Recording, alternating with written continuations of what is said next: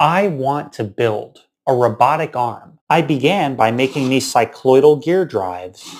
And once I made the cycloidal gear drives, I added a bracket in the center to attach another cycloidal gear drive. So we have one here at the bottom, and then we have another one that's perpendicular to. I also have this second rotator, which I can just slide on to the tubing. And once I slide it onto that tube, you're going to see that when I move it, it actually is so heavy that the entire assembly shakes. Look at that jitter. I'm not sure if I'm going to replace the motor or not, or if I'm just going to move it a little bit lower on the assembly. This bracket used to be made out of the same plastic as the rest of the motor, but I had it 3D printed in a much stronger material. It's still not strong enough.